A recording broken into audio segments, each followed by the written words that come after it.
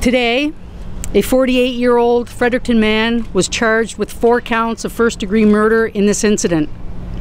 Matthew Vincent Raymond was charged in the morning of August 11th with the deaths of 45 year old Constable Lawrence Robb Costello and 43 year old Constable Sara Mae Helen Burns, and our citizens Donald Robichaud and Bobbie Wright. Raymond will remain in custody until his court appearance August 27th.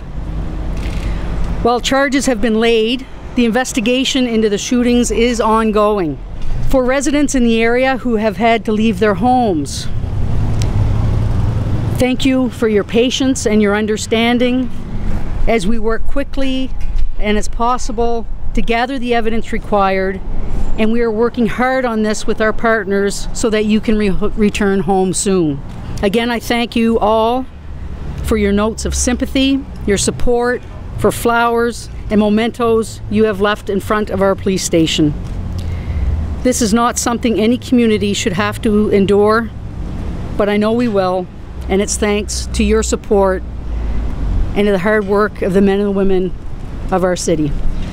We can confirm that it was a long gun that was used. Uh, the shooter was in an elevated position, and uh, we aren't going to release further details uh, beyond that at this time, but it was a long gun and he was uh, situated in an elevated position. There were in total five people involved in the shooting that were uh, injured. There were four fatally wounded two officers, two citizens, and the suspect.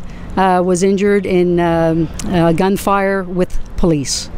The question was, is there a link between the, the victim and the shooter uh, and I forget between the two I mean between the two victims and that link has not been established yet. And that is a piece of information that we're looking to establish and we haven't established yet.